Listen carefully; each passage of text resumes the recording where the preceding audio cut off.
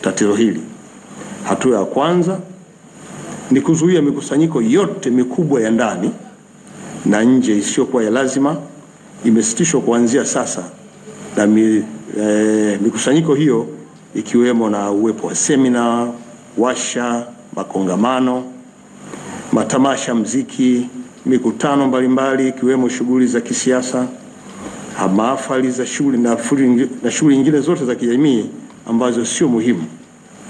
Zote hizi zimesitishwa, lakini pia tumefunga shule zote za awali, shule za msingi, shule za sekondari mpaka kidato cha sita na zitafungwa kwa muda wa siku 30 kuanzia tarehe ya sasa, kuanzia tarehe ya leo tarehe 17, na wizara itafanya marekebisho ya ratiba ya kidato cha sita ambao wanatarajiwa kufanya mitihani tarehe nne mwezi wa, mwezi wa tano.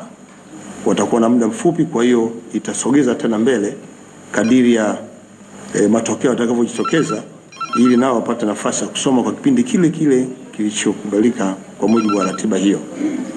Lakini pia tumesitisha michezo yote inayo inayokusanya makundi ya watu kama vile ligi kuu ya Tanzania, ligi daraja ya pili, ligi daraja la kwanza, lakini pia michezo ya shule za msingi UMITASHUMTA, michezo ya shule za sekondari UMISETA, pamoja na ile ya mashirika ya umma ambayo huwa inapangwa kwenye ratiba kila mwaka.